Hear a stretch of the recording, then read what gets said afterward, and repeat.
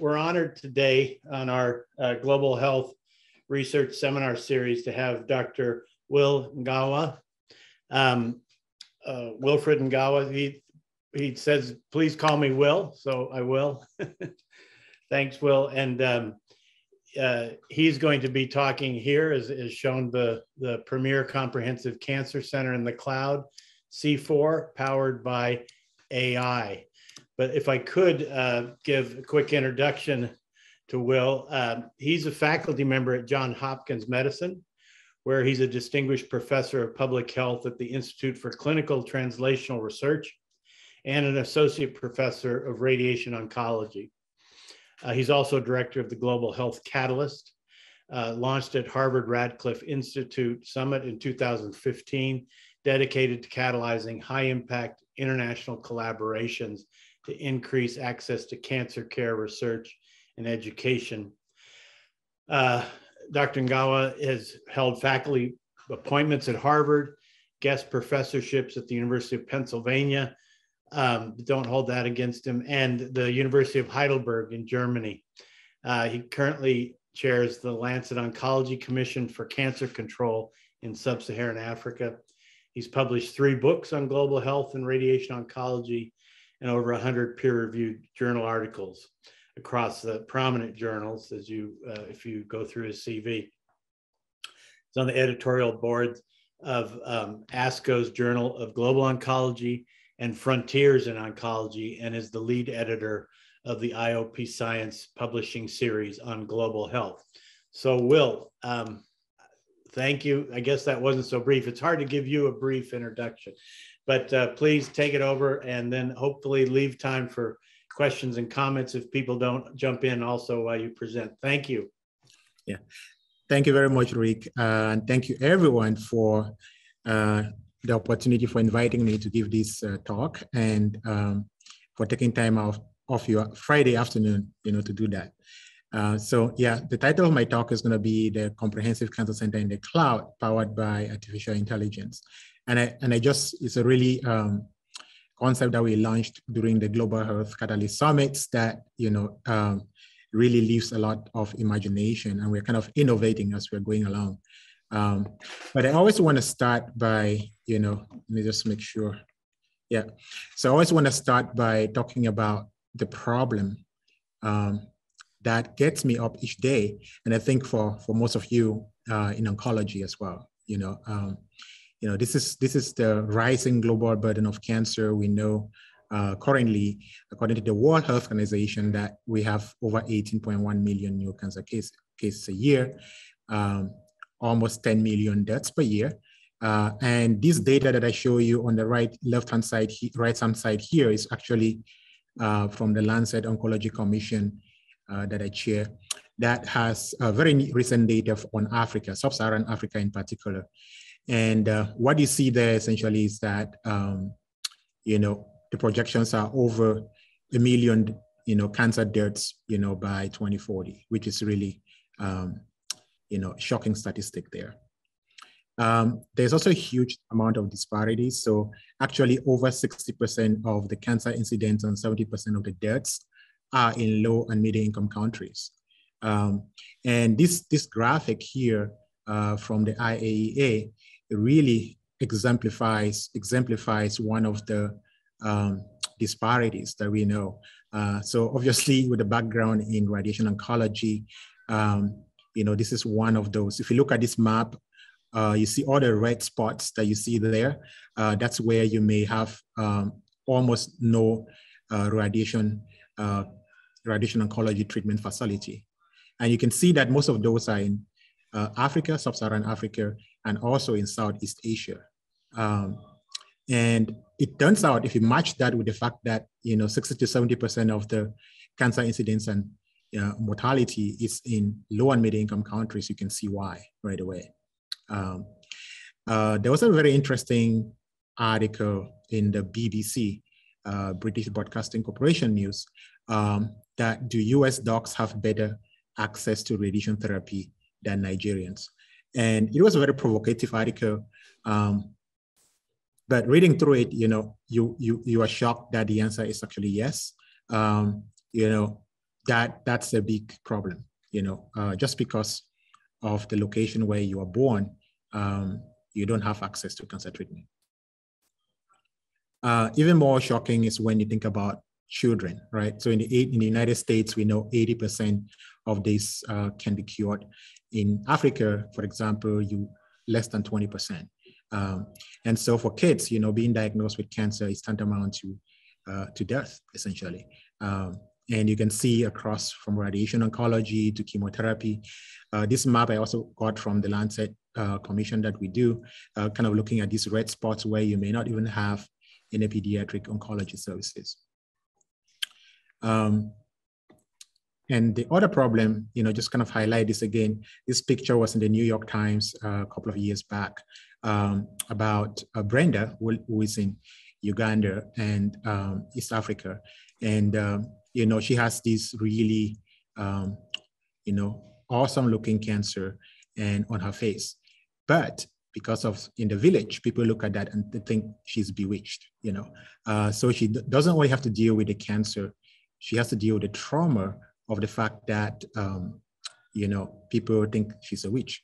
Uh, and so, you know, that's the cultural, um, you know, and system, the background that can really uh, make the, the burden even worse. Um, but I always want to think about, you know, when you think about global health, you know, global health is local health. And so even though we highlight, I highlight the disparities across in um, out of out of the United States, you also have a huge disparity level in the United States, just in our neighborhoods. Uh, right, right in New Jersey, uh, you can probably point out a number of a lot of neighborhoods that have um, those kind of disparities. Uh, so one of the shocking ones you can think about is the fact that just for prostate cancer, um, you know, 3.5 times more deaths, uh, or you know, for for African American populations. Um, if you breast cancer, you know, for people living over 50, um, you know, for women who are over 50, that's twice. Um, and again, this becomes an issue where um, this is not this is not due to um, you know this is just because of racial disparities. And so there's this huge magnitude of cancer disparities that needs to be addressed. Um, and so how do we do that? Um, the way i usually view this is um, you know i like my kids love love the avengers movies um, and so i usually look at these statistics of cancer and i look at them as uh, the monster Thanos, who basically gets up one day and decides that he's going to wipe out 50% of the world's population. And, um, and so the, the very famous uh, Avengers movie series, you know, you have the Avengers working, to be, working together to, uh, to fight back. Um, and it required collaboration. So basically you had all the Avengers working together. And I think it really captures essentially what we need to do uh, to address uh, disparities and also not just disparities, but the growing burden of cancer. Um, and underline win-win collaborations because um, that's the only way you can have collaborations that are sustainable um, to address these disparities. President Biden just launched, relaunched, uh, reignited the Cancer Moonshot a couple of weeks back. Um, and so, you know, one of the key things there obviously, obviously is equity, but um, also there's a big need for collaborations across, uh, you know, people from different stakeholders, you know, industry, uh, all scientists, academic uh, institutions, uh, you know, and, and, and, and advocates, you know. So, um, but, you know, for Africa and lower middle income countries, I kind of look at it as a ground shot instead of a moon shot because uh, there's a lot of, um, you know, evidence based um, interventions that are already out here uh, that if we can implement those can really make a huge difference. Uh, and so, you know, uh, we can actually really stay grounded here. Um, so, you know, I've been directing the Global Health Catalyst uh, program uh, since 2015. And one of the things that we've always checked with people is what are some of the barriers to collaborations uh, in addressing disparities, especially in global health? Um, and what keep coming, keeps coming up a lot is the idea of that we have these distance time barriers, um, you know, cultural barriers, and of course, funding uh, or financing of this. And I'm going to address, so the Cancer Center in the Cloud really focuses on addressing, you know, the distance, distance time barriers. Um, and so, but, you know, I just want to highlight this graphic as well because I know in the United States, you know, um, these are the barriers to addressing uh, health equity. Uh, call them the great barriers. So geography, race, income uh, or earnings, um, attitude, which I also called culture, and of course technology, which has become uh, one of the big things concerns during the corona, coronavirus pandemic because people thought about the fact that, you know, depending on your neighborhood, if you don't have broadband internet, um, you know, even the online classes and all of those things can lead to a digital divide. Um, so, um, so these great barriers, I'm just going to address in particular the geography and the cultural ones. And I think these are big uh, in terms of how we can um, uh, eliminate cancer disparities.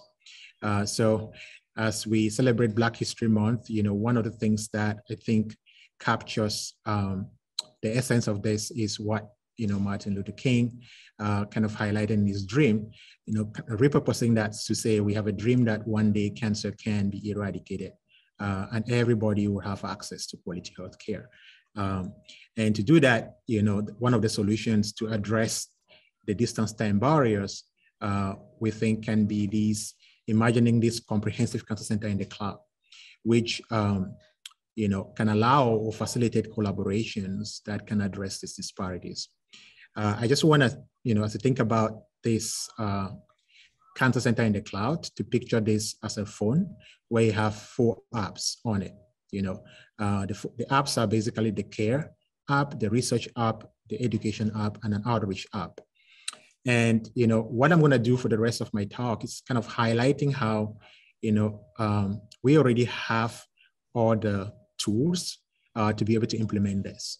Uh, and also highlight examples of things that we've already been doing in implementing these tools on the, under the C4 uh, to address disparities. And I wanna highlight, for example, that uh, under the education app, you know, we already have an online global oncology university initiative, which really sets, I'm gonna talk about that in a moment, which really sets, addresses the issue of, of education and training. Um, you know, and then we have an care app. and You can imagine this. This was very, uh, has increased significantly during the coronavirus pandemic, telehealth. And so you can imagine teleoncology as well, uh, obviously with you know, the assistance of artificial intelligence. Uh, you know, in oncology departments, we have tumor boards, you know, those, those can be handled uh, on Zoom, second opinion, remotely, remote treatment planning and quality assurance support, uh, and you can go on and on uh, of the uh, potential uh, interventions that we can do now using, using the cloud, essentially. Uh, on the research, you know, uh, there's a lot of ongoing multi-center clinical trials that, you know, basically leverage technology, information and communication technologies. Uh, outreach, you know, working with industry. Um, and, you know, one of my favorite is thinking about how, you know, as you think about brain drain, which is a huge issue, how you can turn that around, uh, turn brain drain into brain circulation essentially, because it doesn't matter where you are in the world, you can be able to contribute to this. So um, I'm just going to highlight a couple of examples. Uh, I mentioned the Global Oncology University. So just kind of highlighting an example where we actually use uh, online to um, education training uh, here through this uh, C4 uh, to be able to train over the past three years, you know, over 1,100 oncology health professionals. And specifically not just giving online lectures, but actually including practical training that you can do from their computers. And in this example here, um, you know, basically you have an image of a patient that they have to learn the anatomy of that and actually contour. So map out the regions that have cancer and regions that are healthy tissue so that as we do treatment planning for uh, radiation oncology, in radiation oncology, uh, we can target the cancer and spare the healthy tissue. And so uh, we use a platform, a, a tool called ProKnow. Um, and, and I just want to explain how this actually works. So with this model, uh, what happens is that you can uh, you can get up on a Saturday morning, even just in your PJs, and you, people can dedicate one to two hours of their time uh, and in this case, we had faculty who are experts in, you know, head and neck cancer, so cervical cancer or prostate cancer.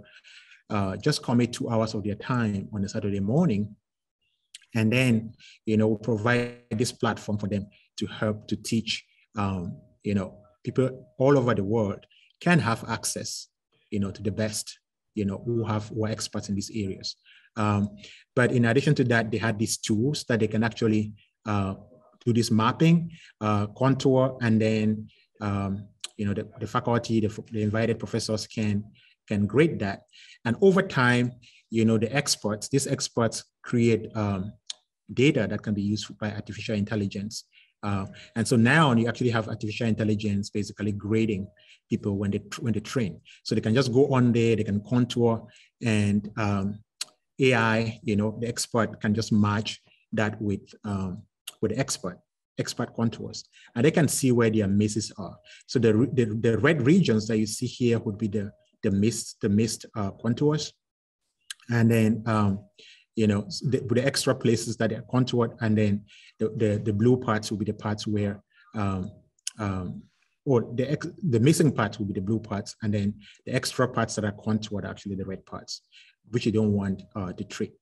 And so this becomes a really effective um, approach to address some of the, uh, just highlighting a way you can train, you can train people more, even from a distance. Um, and I just want to highlight these examples why this is so important. Uh, actually, one of the Lancet studies that happened in 2015 kind of highlighted this great need for, um, you know, training of radiation oncologists, uh, radiation therapies, medical physicists, and something like that. And, and these, these numbers are really um, staggering. You know, these are numbers that need to be uh, really addressed. And so in this program that we did uh, over the Global Oncology University platform, I just want to show you some data um, where in this case you had this, uh, this, this we actually uh, had a pre-class quiz or, you know, testing of the, the trainees and then a post-class assessment to quantify the change in their skills, improvement in skills level afterwards. And uh, what we see here essentially is that there's a significant, I mean, there's a jump in overall in all the different things that uh, they were trained on uh, to the blue, blue level. Uh, so this is really good. It was good news for me when I saw this, um, but it was also bad news. Uh, the good news, the good part of this was that, you know, we definitely made a difference for these uh, oncologists in lower middle income countries, you know. But, you know, on the other hand, I couldn't help asking myself, you know, what have they been doing so far with their patients? Uh, it was very clear and evident that they needed these additional training. Um, but it also reflects the fact that, you know, if you don't train them well, uh, the patients are going to suffer. Um, and so, you know, we've grown this program over the past three years to include partnerships with the European Society of Surgical Oncology, provided uh, surgical courses, training courses, the African Organization for Research and Training in Cancer, uh, and other professional societies. And we actually have a new course coming up from April uh, that's going to run to July. Um, that's really going to be very helpful in hypofractionated radiation therapy. Uh, and we're going to talk about that um, a little bit later as one way that you can really increase access to cancer patients. Um, but then think beyond education, you can think about care as well. As I mentioned, teleoncology is a huge deal now. Uh, second opinion, remote treatment planning, and, and quality assurance support, um, and other telehealth uh, approaches that can support. Um, and so we actually have through this network, the C4 now, over 600 oncology health professionals, including diaspora, African diaspora, lower middle income country diaspora oncologists who are willing to help uh, provide this kind of teleoncology services. Um, but it's not just in treatment. Um, you know, the idea that it can use artificial intelligence and ICT, so information and communication technologies, uh, can also be, you know, used for cervical cancer or other, um, you know, other, you know, you can use that for diagnostics as well. You know, and this one example here shows, you know, a, you know, a study in um, in Kenya that kind of highlights how you know, you can um, essentially use technology uh, to be able to uh, do screening for for, uh, for for cervical cancer. So where there are limited number of pathologies, you can analyze the test results, and artificial intelligence has been trained to be able to uh, allow you know um, a diagnosis even remotely. And so this becomes one of the, just highlights another example where you can use, um, you know, artificial intelligence or technology. Um, the other area uh, worth highlighting is in research, obviously. So um, in research, like I mentioned, we already have a number of tools that we can use. And one of the very effective approaches we've seen so far is the idea of co-mentored research collaborations, where uh, we've been providing very small seed grants funding, like you know $5,000 grants that can support and these are being provided by over 100 diaspora organizations that we have partnerships with. Um, so they can provide $5,000 grants um, and um, you know they can be used to support uh, to seed research in, in by a low and middle income country uh, scientist or researcher who is co-mentored by a faculty in a low and middle income country and a faculty in the United States. Um, and so this through this co-mentorship, you know, they get to generate some preliminary data that they can then use even for either to publish, uh, actually can present that at a conference. So most of them present that during our annual Global Health Catalyst Summits. Um, and then they can develop that into a publication and maybe use that to apply for grants. So through this way, the Global Health Catalyst program can really catalyze collaborations, um, also in research. But in this way, most of these, uh, the faculty that are collaborating are usually uh, from a distance, right? So there's a distance time barrier.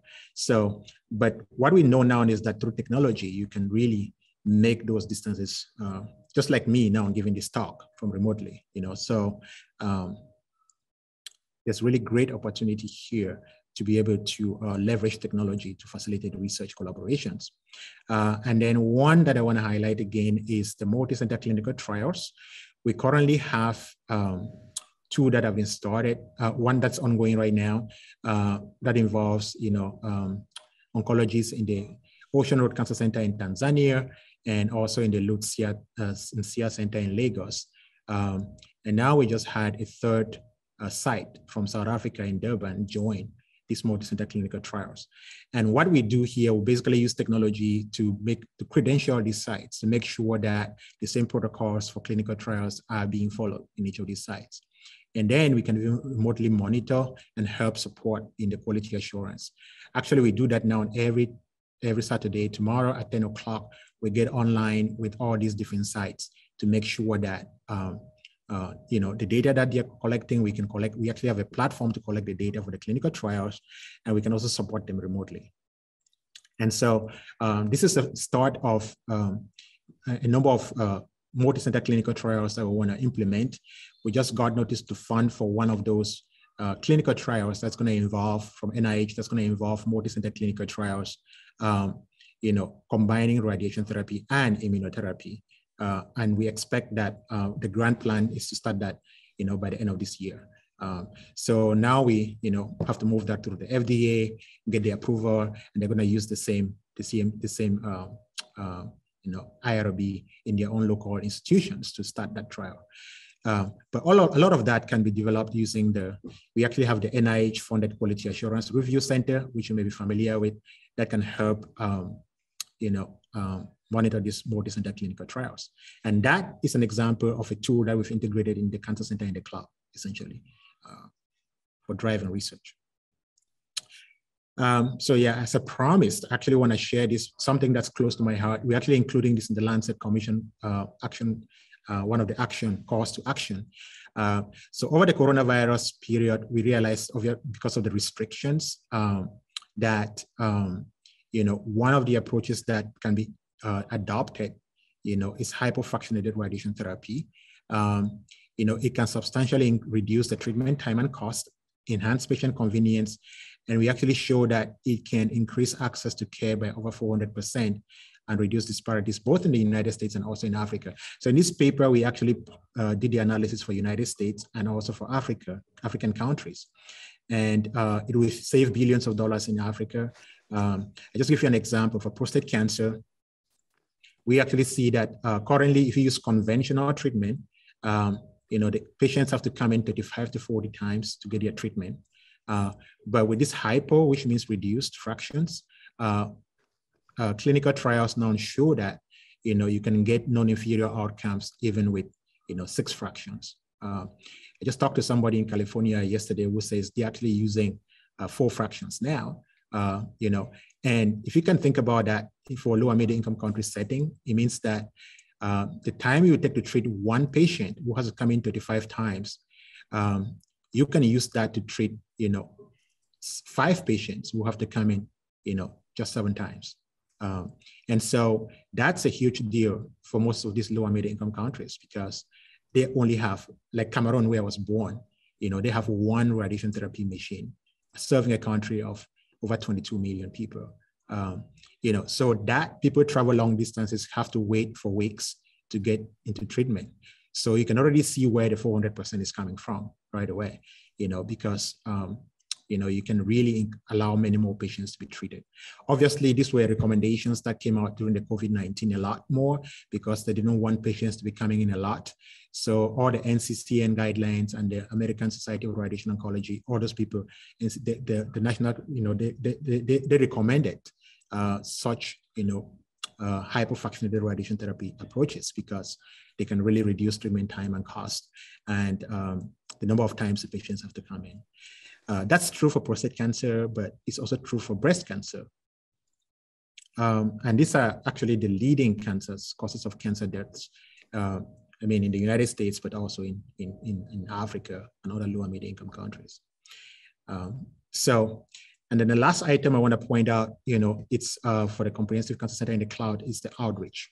Uh, so we deliberately include outreach because um, when we started running the Global Health Catalyst Summits, and we used to always be cancer health professionals uh, who were invited and they talked to each other. And then we began to realize that, you know, for this to be sustained, and especially in lower middle income countries as well, where, um, you know, most of the, the, the, budgets and things like that come from the Ministry of Health, from policymakers, um, you know, we have to engage them. We have to engage them. A very good example is how to engage the, engage the, the government, the US government on the cancer moonshot. Uh, so we began to reach out and invite, you know, policymakers, industry, uh, you know, to participate in this. Um, and so uh, one of the peak, uh, the big parts of the C4, uh, Comprehensive Cancer Center in the Cloud, is our outreach component, which um, involves organizing these yearly global health catalyst summits. Um, we just got NIH funding for this to fund this over the next years. Um, and while NIH says we need to organize this in different locations. Uh, initially, it was at Harvard Medical School, but now the one we did in November actually was done online completely. Um, and uh, we plan the next one now would be in July, 7 to 9. Uh, it's going to be hybrid um, because as we hopefully as coronavirus gets better, um, you know, we can get more people. We have recognized that, you know, for you to have collaborations, which I mentioned is one of the solutions here, um, you know, really meeting people face to face makes a tremendous difference. Uh, there are a lot of things you can do remotely, uh, but it's also important to have that. But that online component is really important because it then provides access. More people can actually participate um, and you can engage more. So, um, so this is one of the, the big aspects of the the other app in the C4 is really the outreach component. And I would like to highlight the other one, which is the component. What this allowed us to do is really engaging um, in the outreach diaspora organizations. Right now, we have over 150 diaspora organizations, African diaspora organizations um, in the United States that are supporting this. And they're the ones, some of these that are providing micro grants to seed funding uh, for this. They have budgets, you know, these are basically uh, organizations that have budgets and uh, they can allocate some of those, uh, that funding, you know, to support, um, to see these kind of collaborations. And so through this, we can really turn brain drain to brain circulation. Uh, some of them are participating in the, in the other apps, you know, uh, the care, you know, the research as mentors mentors, and education, which anybody can do. Um, you know, like I mentioned, you can just get up on a Saturday morning and you can do that uh, if you, uh, if anybody's interested in doing that. And so, uh, but I'd like to end by talking a little bit about where, highlighting some areas where artificial intelligence really becomes a big part. Um, so, um, you know, and artificial, the, the big problems obviously in lower middle income countries are, for example, the limited access to high quality care. Uh, I've highlighted the idea of the work workforce strategies that we have. the equipment, you saw that with the radiotherapy machine, and the breakdown of this equipment is a big deal. Uh, drugs, limited access to essential medicines, um, you know, the data uh, collection practices, even uh, cancer registries, these are big issues that can really help with this kind of data. Uh, you can use that to uh, even for artificial intelligence. But where artificial intelligence can really help in these different areas is obviously um, you can develop low cost devices that can increase access to care. I just highlighted the example for the, um, the, the, app that helps with cancer screening or diagnosis in, in Kenya. You can do that remotely uh, where there's shortage of health, healthcare workers. Um, and so we also see that it can assist a lot of the oncologists in lower middle income countries who work in silos. There may be uh, actually the culture is such that, and some of them have confessed this, right? So they come out of medical school, they're residents, uh, and they are dealing with a complex case. Instead of asking more like in the United States, where we have multidisciplinary care, uh, asking your colleagues about what can be done, um, they actually the culture is usually that if you go and ask another person, they'll ask, "What did you What did you learn in medical school?" Uh, and and so they are afraid. They work in silos, and obviously, if you work in silos, you can guess who suffers. Uh, in this case, you have the patient suffering. And so my first funding that I actually got for this AI was with, uh, with IBM. Uh, IBM actually supported, you know, developing these, um, you know, assistants that can help, you know, some of these some of these doctors uh, in clinical decision support. You know, because instead of them just working in silos, at least they can get suggestions. If you put in, you know, the information of a patient, they can give you recommendations of the possible treatments that you should consider. Uh, maybe they're just reinforcing what you want, like a second opinion. Uh, obviously, you don't have to take them, but at least you're having some additional feedback uh, and not working in silos. Um, one other areas we're highly recommending in the cancer, in the Lancet Commission is the cancer registries, of course. Once you get these um, information and communication technologies set up, uh, artificial intelligence can really help, you know, um, with, you know, it opens up a lot of research opportunities. And so uh, very excited about this. Um, I want to highlight this example where we've actually applied, we apply artificial intelligence um, in, in um, identifying, encountering, identifying, you know, um, you know, where, where in during radiation therapy treatment planning, you know, so in the first case, you, you train the AI, and then when you get a new patient, um, you know, it can automatically look for the areas that you already drawn. Um, and so this can really assist, you know, doctors in lower middle income countries. And um, so that's a really useful um, application. And so, you know, to kind of summarize, you know, I think the comprehensive cancer center in the cloud is really about access. You know, it doesn't matter where you are in terms of your geography, whether you're in a low and middle income country or you're in a poor neighborhood in uh, in uh, in New Jersey or in New York or or Baltimore. Um, you know, you can be able to have access. Um, you know, especially for addressing disparities, we already have interventions that we know work. Uh, and the problem is how do you get people to access that? There are cultural barriers, there are geographic barriers, there are infrastructure barriers. Um, you know, using technologies like information and communication technologies, um, you know, can really help address that. And so we can envision, imagine a future where you can have a cancer center in the cloud, comprehensive cancer center in the cloud, where people can access that from anywhere. Um, and, and, and obviously this is a, you know, this is something that's going to keep growing and improving and refining. And so in terms of the next steps, we're actually looking at implementation research on this, you know, um, you know, it's not a one size fit all. Like we know, even in global health, uh, the, the, the, worst thing is when you just think that, okay, I have a solution, uh, I'm just going to go and apply it anywhere and it's going to work. Um, you know, because of the cultural factors, systems, you really have to carry out the implementation research. Um, and like I said, global health is local health. So one of the things that we are really looking to do is actually uh, also do that here in the United States. Um, we have a funding, a number of couple of grants that are already in on this, um, you know, and looking at um, actually part of that grant includes Drew University in New Jersey, uh, the Theological Seminary, because we are, uh, my brother lives there um, uh, he's a professor there, and he, you know, he's collaborating on uh, creating the academic connection uh, to uh, faith-based organizations. And so he's already identified 20 faith-based organizations in New Jersey that are part of this collaborative network. Um, and so we can see where a situation where we imagine, you know, having each of these faith-based like churches transformed into access hubs to the C4, um, where basically you provide the logistical infrastructure for them.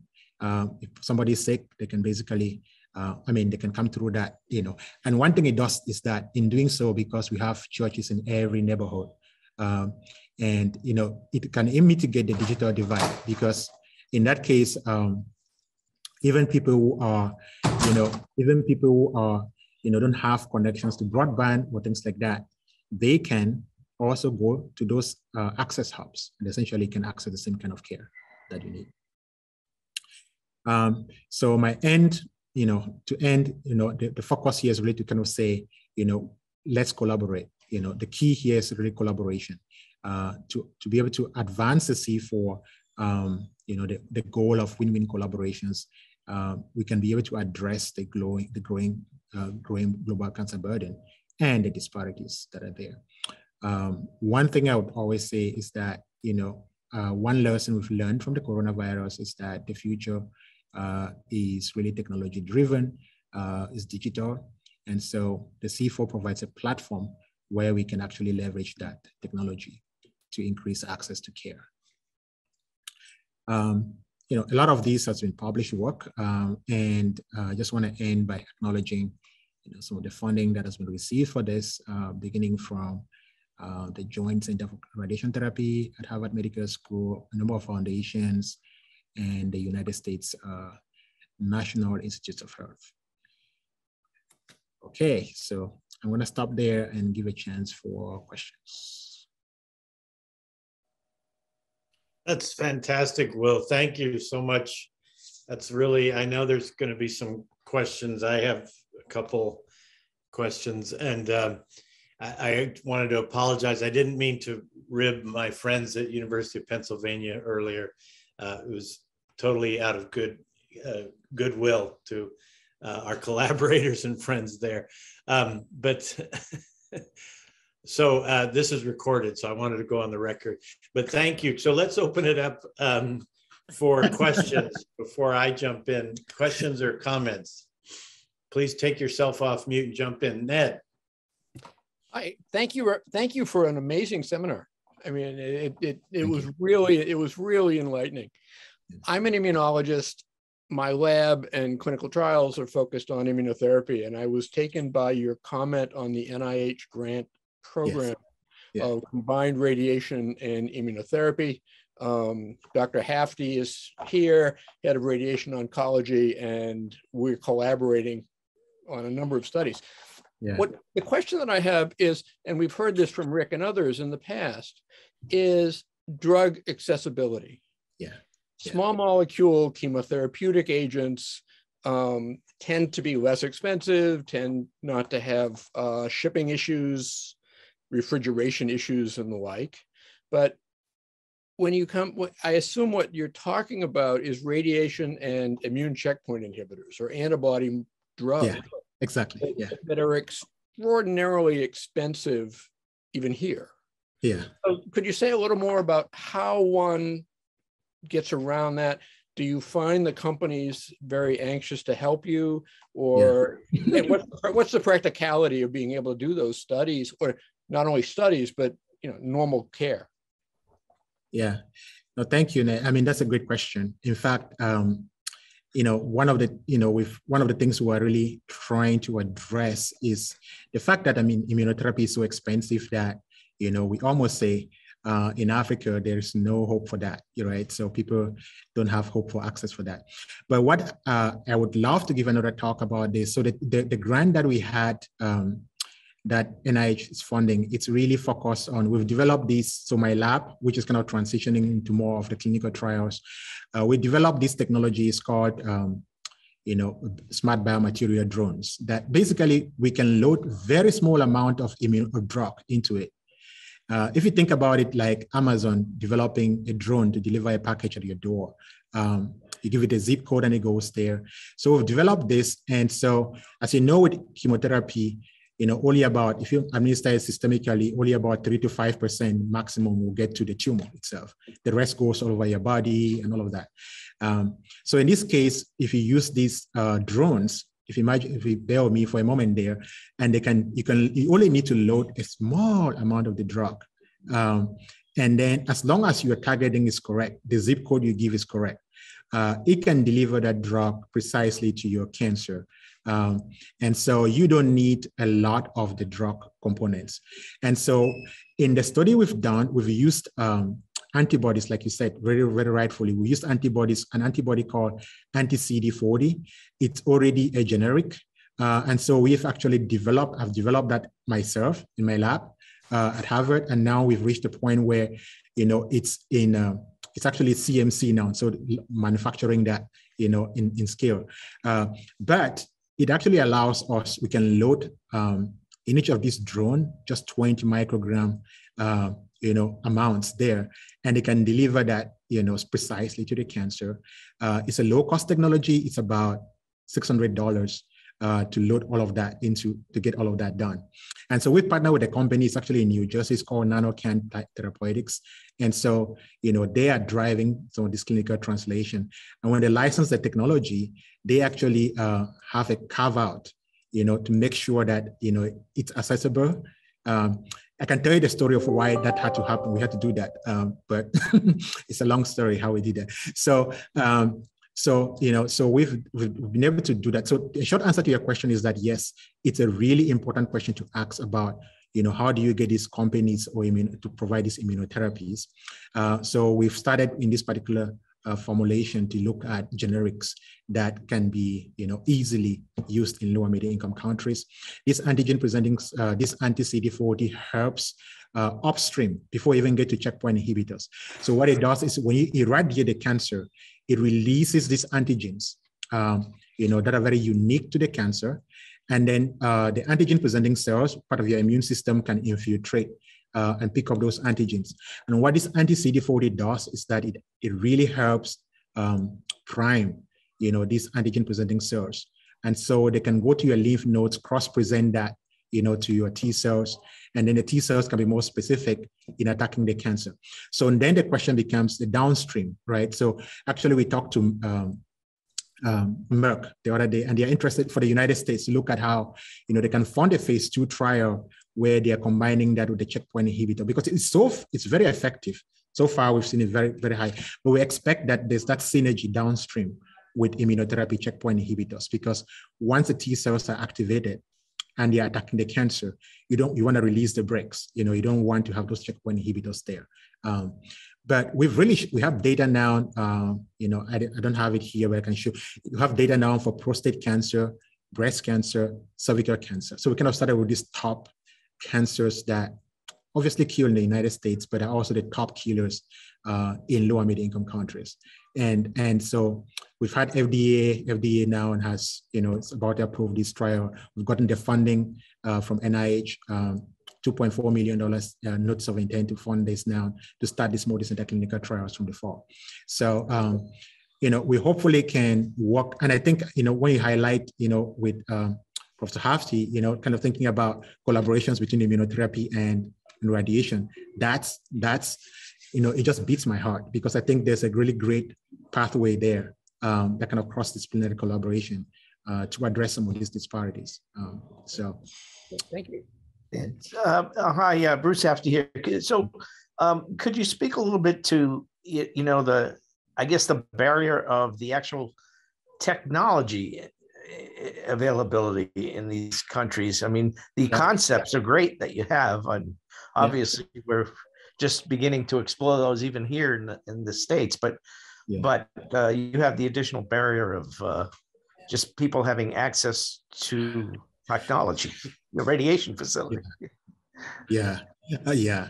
I mean, that's one of the things we've had to deal with um, with the Lancet Commission for Sub-Saharan Africa. Um, it's really, to your question, you know, these infrastructure barriers. Um, I mean, in radiation therapy, like I said, in Cameroon, where I was born, um, you know, we have one functional radiation therapy machine um, at Hopkins. You know, I mean, you know, or Harvard or Rutgers. I'm sure. You know, you have many that you probably have enough radiation therapy machines than than you know half of African countries. I'm telling you because some countries don't have any, you know, and so uh, that's a huge problem.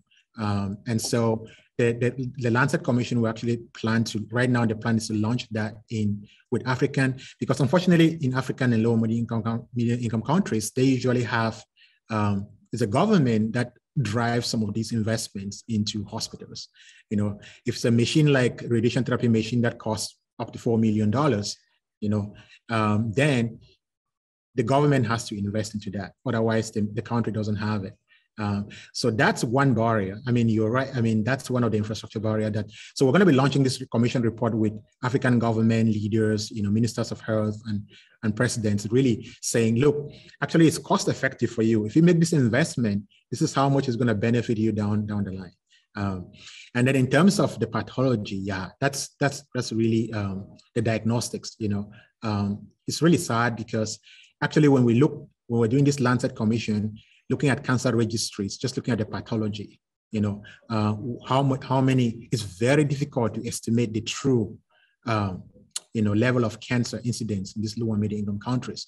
Basically, we had to make estimates, working with the, the IARC, you know, make estimates because some countries don't have, you know, this pathology or, you know, cancer registries, you know, and so um, we think that with the new technologies, uh, like the one I highlighted, um, there's now an increasing movement to kind of see how we can adopt those kind of low cost uh, technologies, point of care technology infrastructure uh, in the lower middle income countries, which can then help us, you know, not just in the diagnosis, but can actually allow us to also have, um, you know, data, you know, data that we can even use for additional research, informing policymakers and things like that. Um, and so, you know, it's a it's a big deal in terms of that. And and you know, so I think there's really need uh, as we think about these even information and communication technologies, we have to first make that minimal investment in infrastructure uh, to make sure that this can then happen.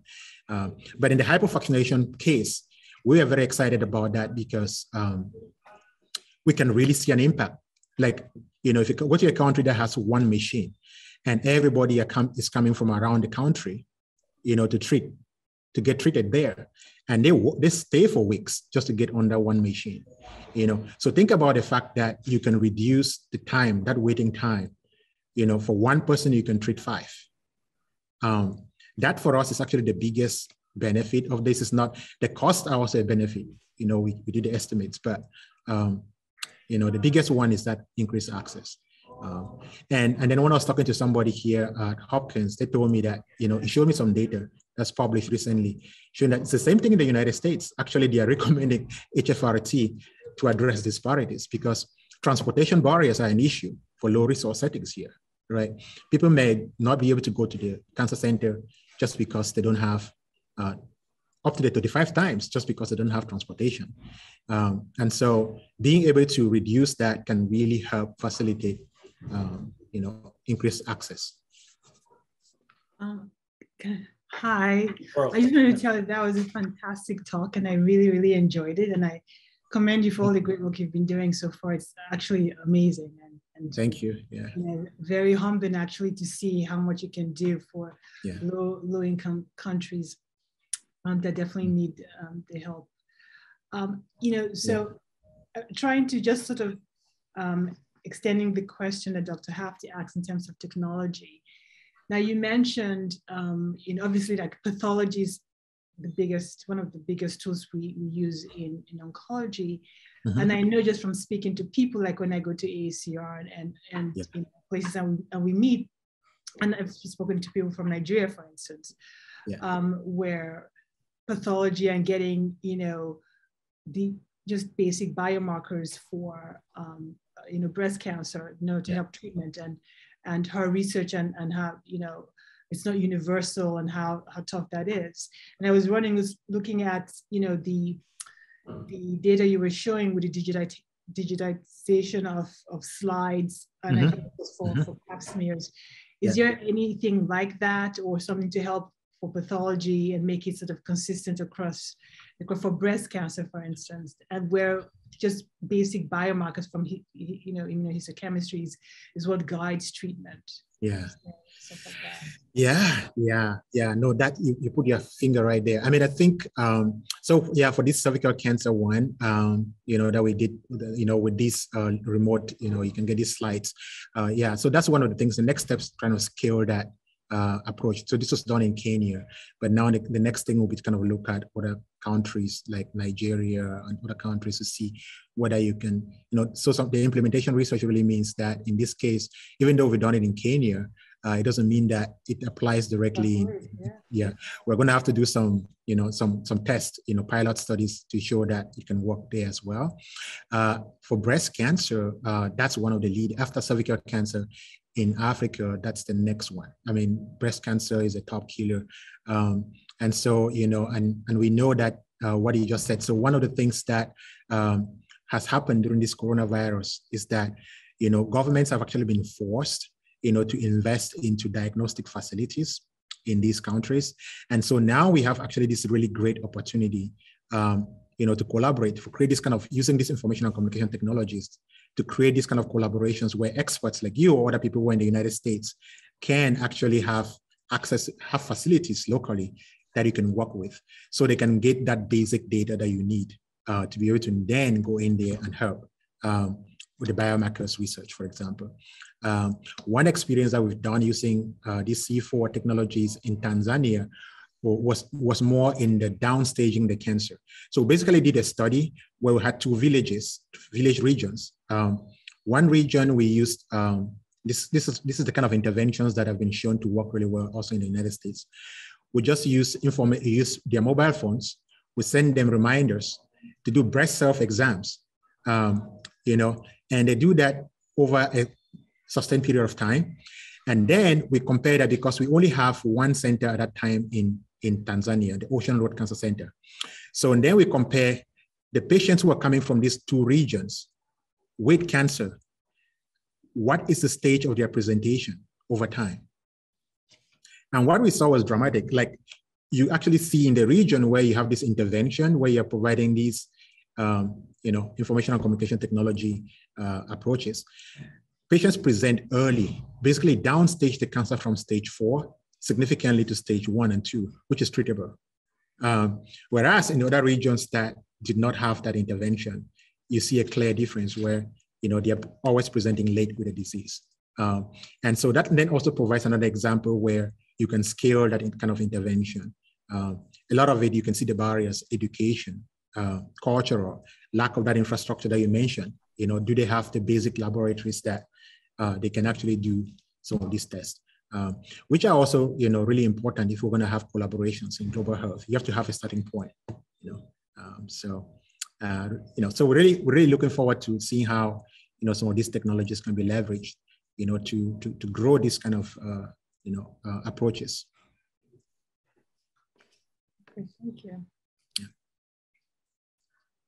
Well, for a great talk. Um, uh, I was wondering if you could talk a little bit more about uh, the supports for after the initial training, like you mentioned, the one that you did with um, AORTIC and um, mm-hmm, mm-hmm. the European Society.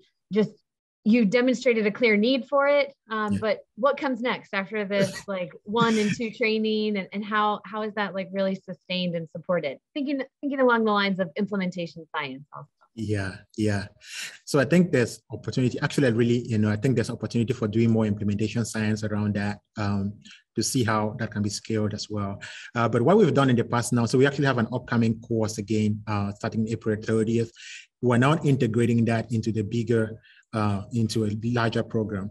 So the first one that I actually showed you in that data for the contouring was really just for treatment planning. So now we actually have a program starting in April 30th that's going to be from consult all the way to treatment and even follow up uh, using these technologies. And so, uh, so we, we, we are now uh, continuing to offer that program in collaboration with AORTIC, but then uh, increasing some additional components to that. Uh, you know, as to sustainability, right? So sustainability require that we really have um, you know more people adopting that so training the trainers for example training people locally who can then you know also go ahead and train the next generation of people in their hospitals um, and but also providing that continuous support for them and increasingly people are beginning to realize that that's the case actually tomorrow, this night, I have to get up at 2 a.m. to, to do the same thing in Kenya. They have a they have a program that I have to kind of provide that kind of support. Uh, but the time difference, because of seven hour time difference, I have to get up at 2 a.m. Uh, but it's fun. I mean, you're having you're having some impact there. Uh, but you know, there's a lot of open opportunities for implementation research there. You know, uh, to kind of look at how you can scale that and have it adopted. Like even with the hypofractionated radiation therapy, that's the big deal. You know, we know that you know over years now, these have been well established in clinical trial, evidence based. So why are people not adopting them? Why? What's the barrier?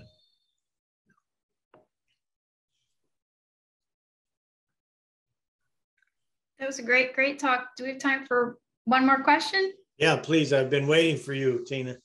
Okay. So, um, you know, I, I know early on you touched upon also, you know, just with things kind of moving to a lot of virtual format, that there's opportunities for, you know, people from around the world to volunteer and provide expertise. Yeah. Um, you know, one question I always have is like for folks that want to, you know, volunteer time and and you know and help kind of improve, you know, the knowledge base where, where necessary. Um, you know, do you find you have to train people, you know, in some level to understand what's available and what, you know, um, you know, what some of the barriers are so that if they're doing a, you know, a consult or a tumor board, that they can kind of weigh in appropriately. Yeah. Yeah, uh, yeah, that's that's great. uh, so far, we haven't really had to do that. Uh, we've kind of had, um, you know, the experts essentially, um, you know, at the beginning of it, just tell them the background of the people that they're going to be training. Um, you know, sometimes, you know, if they are, uh, there's a need for language barriers, things like that. We've helped with translation and stuff like that in preparation. Um, you know, but you raise a very important point. Sometimes there are these cultural barriers, you know, or just barriers in terms of, you know, we've seen that during the COVID period more was, you know, some people didn't know how to use the technology. You have really great experts. Uh, you know, like you saw with tele-oncology right now, and people are like adopting it, but there were there's always this barrier of uh, oncologists who are really great, but they don't want to use the technology. And so what we've had to do sometimes is actually create time to train people to use the technology, like the platform, the Zoom. Uh, you know, how do you use these contouring tools or these treatment planning tools that you're going to be using? Uh, so we've had to do that um, in that respect, you know, to kind of help them use the training them to be able to use the technology rather than. Um, but I think your point, you know, um, cultural barriers, we, we know that that can be a problem in global health. Sometimes people you know, just even there, I'm talking to a guy in California. He's the one who wrote the NCCN guidelines for prostate cancer radiation therapy, uh, Mack Roach. And I realized that he's getting into global health. He's excited. He's tenured professor. He's done. He's retiring. He wants to help. But then I realized that his mindset needs to change a little bit because uh, he needs to be trained a little bit about how global health works. It's not you saying, okay, I'm the best in the world. I'm coming to you. I'm just going to tell you what to do. Um, you know, you have to be humble. Um, you have to be humble because sometimes when you come to this resource, you can you can really it can really backfire if you're not trained that way. You know? So yeah, you make a very important point. You know?